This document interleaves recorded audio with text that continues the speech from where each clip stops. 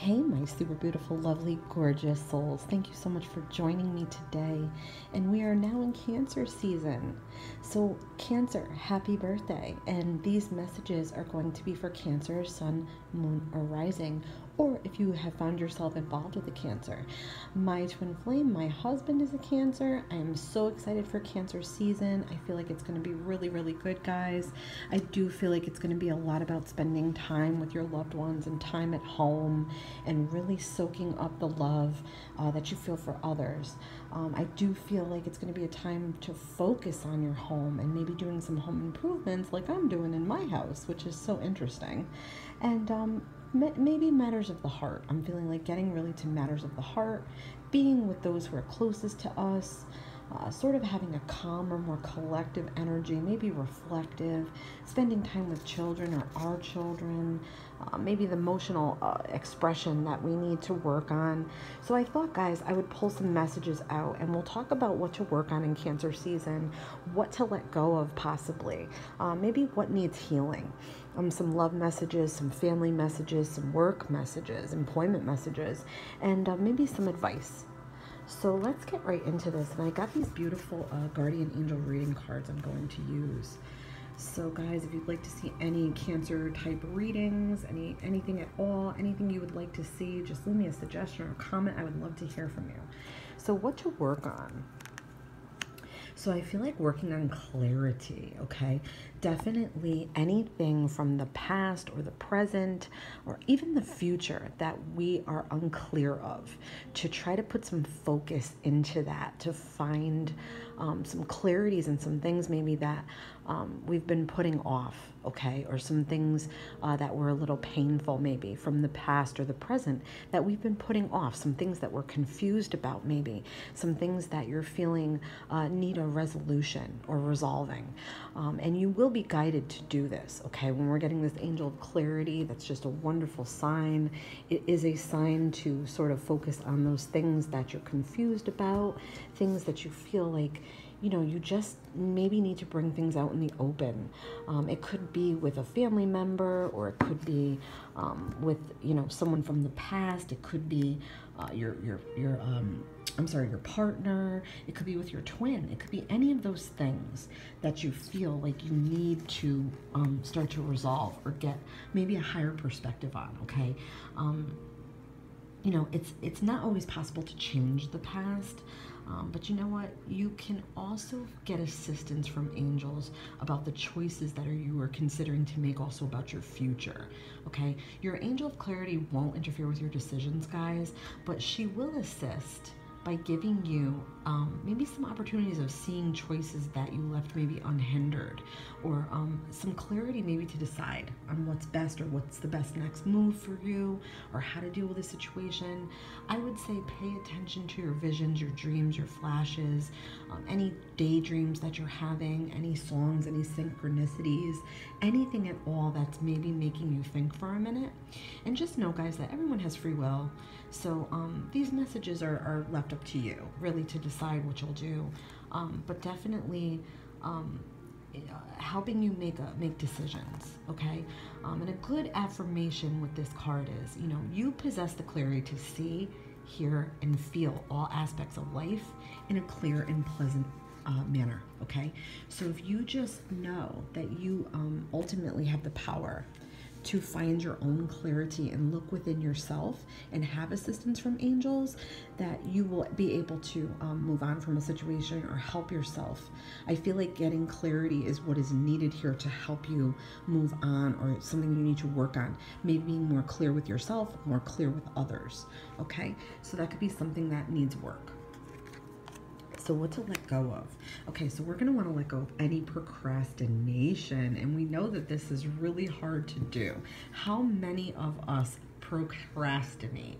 I do it probably weekly, and I don't even think about it. I just sort of put it on the back burner, certain things that I know I need to do. They could be major or minor, and I sometimes just get lost in day to day life. So, I'll forget. So, really, you have to focus. Um, sort of like focus again with the clarity, but you have the focus and clarity to get anything done, okay? So it's going to be about you just beginning taking a step for yourself, okay? This could be with your health, it could be with a project that you're just sort of fearful to try to do, or maybe you want to start your own business, or you're thinking about leaving your job, or some things in your relationship that need fixing and you're just sort of keep putting them off. Or maybe you're single you know and, and you're just not having that moxie to get out there and try to find uh, love again. Um, all those things we can procrastinate about. We can procrastinate about home projects and about um, you know things that we think we're going to have time for okay? So it's just sort of like when you're getting like the angel here, it's not about judgment, okay? It's more about motivation to show you sort of ways to restore your natural state of peace.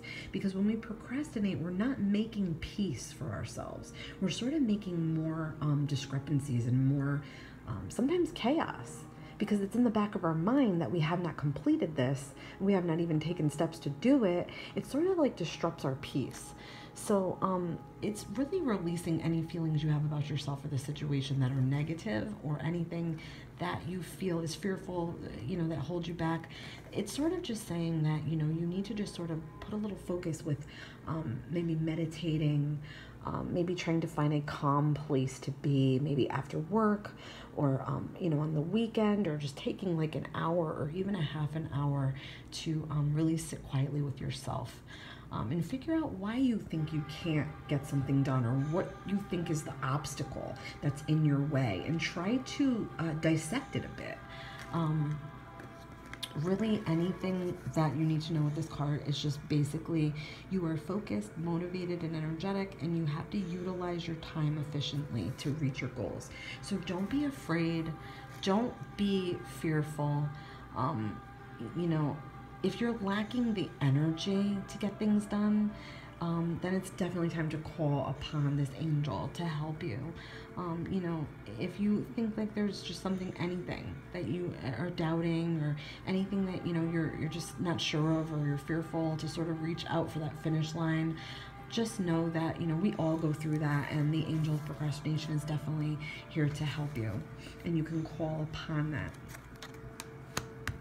So what to work on healing, this has to do with getting maybe just in a better regimen a healthier mindset, maybe getting a physical, okay? Taking better care of yourself, okay? You may think that you're taking good care of yourself, you're eating, you're drinking water, you're sleeping, you're doing all these things, but sometimes it's not enough, okay? Or what we think is enough is never enough. So this is talking about just getting maybe a physical, um, maybe addressing an issue that you've had health-wise. It could be something minor. It could be um, you know, you have a skin problem or something wrong with your feet, or, um, you know, you have dietary issues. It's really just addressing these things and not being fearful to address them and not doing that self neglect thing that cancers tend to do. Cancers tend to worry about everybody else around them and they just want to be fine and strong and right for everybody around them, but they don't ever take that self focus uh, for themselves and they don't like to hear or dwell on things. Okay, so um, if they have a partner that's nagging them, that's not gonna that's not gonna go over well with them, um, or they have a parent that's doing that, or even a child. Um, but you do have to think about the people around you that love you and care for you, and um, they're saying it for your own good, or, or they want you to just do something for you because you do everything for everybody else. This is a good time to focus on your health and getting in a healthy mindset. It could be dietary changes, it could be a workout regimen, it could be walking, it could be getting out in nature, it could be, like I said, just going simple, simple, simple, like go for a physical. Okay? That's definitely something that could be. Um, it also deals with mental health. So, if there's any mental health type issues that you're dealing with, maybe some sadness, depression, maybe some stuff from the past that's bothering you or eating you away, it's beneficial to go talk to somebody that can be helpful. Let's get some love messages.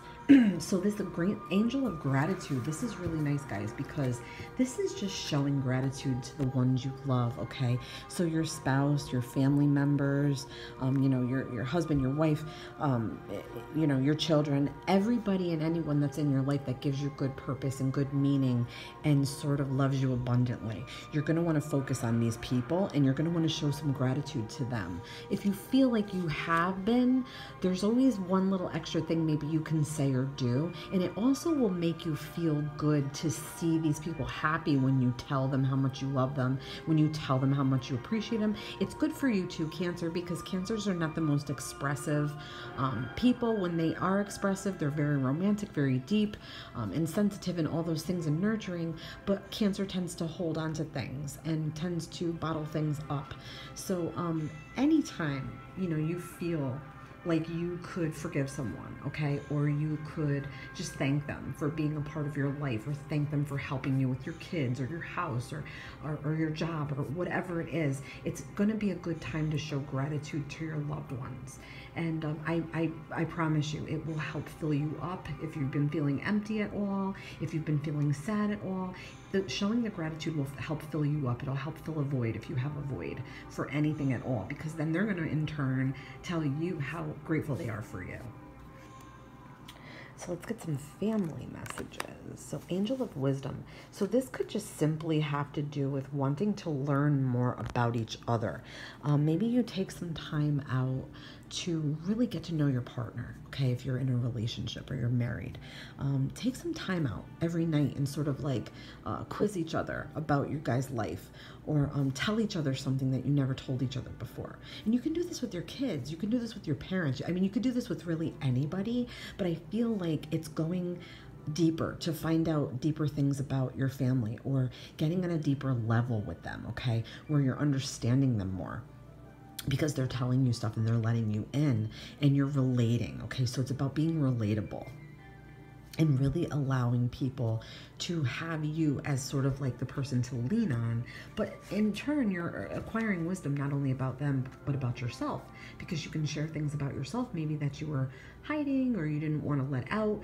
Either way, it will make you dig deeper within yourself, okay? I also feel like it could be a good time to do some ancestry, like looking into your past uh, relatives or your ancestors. I feel like you should be honoring your ancestors too at this time. Like if you have had anyone that has passed on, you should maybe set up a little thing with a picture and a candle for them um, and, and really honor them. But I do feel like ancestry might be a thing. You might be thinking about doing ancestry DNA. You might have a child and you want your child to know this or pass it on to a child someday. Um, or you just might want to know for yourself. I do feel like that could be something interesting, could be a really good hobby for Cancer. Cancer does like things about the past and and they like old things and antique type things, I feel like you could really um, get some good insights and good value out of that if you did that. Let's get some work messages.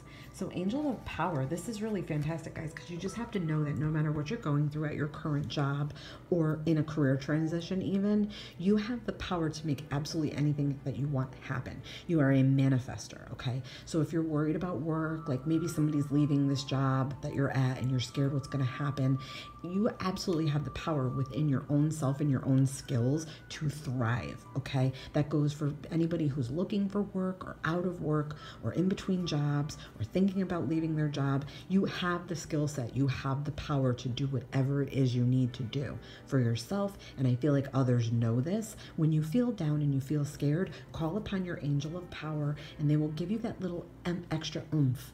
Okay, they'll send you some type of a sign or they'll make you feel something um, about yourself that maybe you have been lacking or not feeling for a really long time. Okay, so let's get a final card for advice. So we're getting angel of grounding. Now this is something really, really um, important to do, guys to learn about grounding, centering, and protecting, there's lots of different videos. I could throw some up in the description box or I could just do a video about it, but really getting focused on your inner chi, like focusing yourself, your center, finding your center, grounding yourself um, to Mother Earth, um, you know, feeling uh, uh, the, the, the, the light the white light of protection around you and sort of coming up with your own ideas to shield yourself. This should be done daily or twice a day. Very, very important. Cancers are empathetic. They have natural empathy, so they could definitely soak up and absorb the emotions of others. Okay, so you're going to want to learn to do this grounding and protecting. This is just a message from spirit. That's something that would be helpful for you at work, at home, in your relationships, in your interpersonal relationships, all those things. When you go to the store, you're going to want to do this before you you go in the store, okay, so you don't get drained.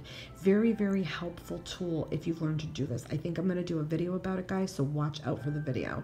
And um, I can um, try to put some information in the description box.